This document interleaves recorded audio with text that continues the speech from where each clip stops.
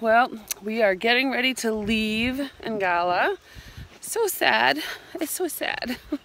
We loved it, didn't we, Ben? We did. Where are you? There you are. we Yeah. did. Pretty amazing.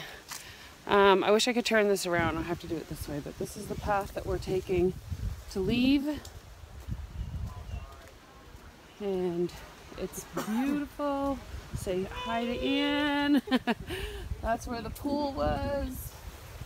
Is. And actually, yesterday they had what?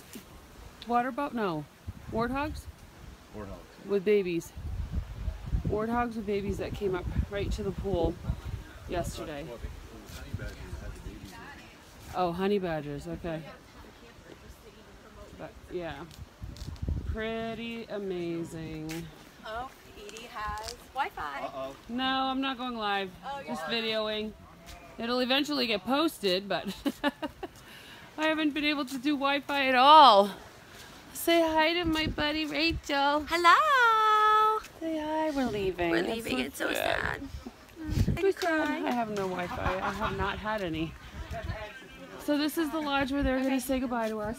I'm seeing if I can go live. I would try. And um, I guess I'm going to let you guys go because we're going to get on the bus and get ready to go to the airport. Cape Town. Oh, the first guy is Sean. That's the guy that took care of us like on this whole trip. He looks like Paul Walker He does look like Paul Walker. and Ryan Phillippe mixed together.